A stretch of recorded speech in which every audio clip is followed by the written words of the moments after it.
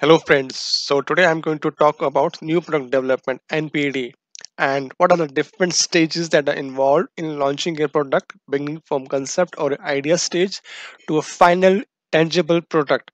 So without wasting any further time, let's start our video. Hello and welcome to yet another video series from Digital E-Learning, your one-stop solution for all your learning needs. So what is NPD or new product development? So it is a total process that takes a service or a product from a concept or an idea stage to a market where it is launched. Approximately 80% of your new products will fail. As the customer taste and preference are ever changing, new product development becomes a necessity for any organization.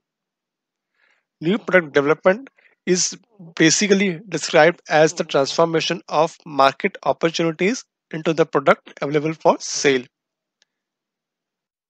This product could be tangible, something physically which we can touch, or intangible, like a service or a experience. Cost, time, and quality are the three main variables that will drive your customer need. Aiming at these three variables, innovative companies develop continuous practice and strategies to better satisfy customer requirement. Assuming you have to have three variables, cost, time and quality. So if you want a product to be good and cheap, it will be slow. If you want a product to be good and to be delivered fast, it will be costly. And if you want a product to be cheap and fast, it will be of low quality. Achieving all three attributes, cost, quality and fast will not going to happen. As the customer taste and preference are ever changing, new product development becomes a necessity for any organization. It is okay to fail, but fail early and move on to the next idea. So every product goes through a number of stages, starting from idea generation, idea screening, concept development, marketing, business analysis, product development, market testing, and commercialization. So in this uh, coming slides, we're going to look at each one of these in more detail. But before that, your NPD project or a product could be the addition to the existing product line. It could be a replacing an existing product into the market with a new one or altogether introducing a new concept into the market which is not yet being released even by your competitors. So the first stage of NPD starts with idea generation. Any great invention or idea of a product starts with a brilliant idea. And at this phase, the goal is to collect the maximum pool of innovative ideas and concepts. Two main sources of idea collection could be internal source, where many company gives incentives to the employees. It could be R&D guy, quality, marketing, or even a sales you can probably ask your employees who are in direct contact with your customer. Almost 55% of your new product ideas come from internal sources. Next source could be your external source. This refer to all kind of external sources like distributors, suppliers, and approximately 28% of new product ideas comes from watching and listening to your customers what do you do think about your product? What could you have done better?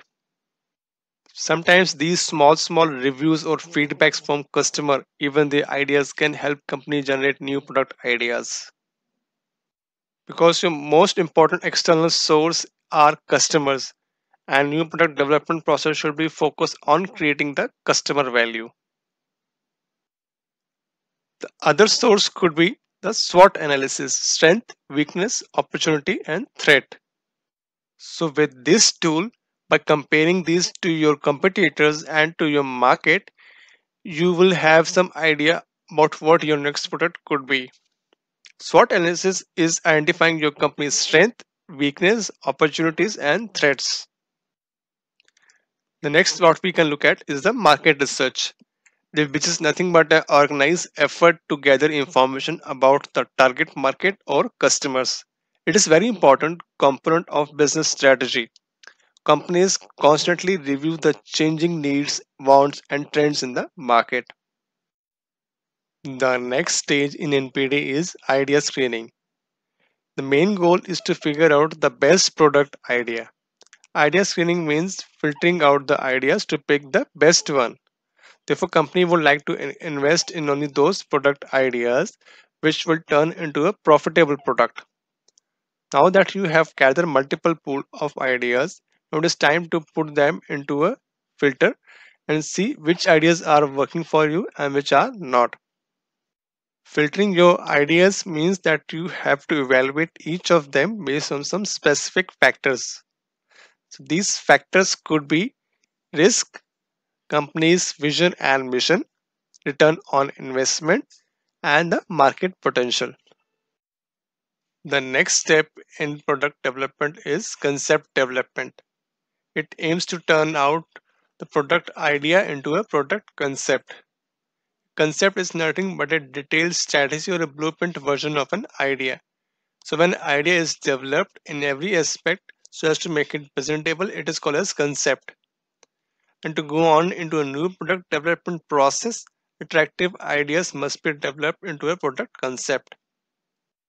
So once this concept is developed, it is brought to the market to test it.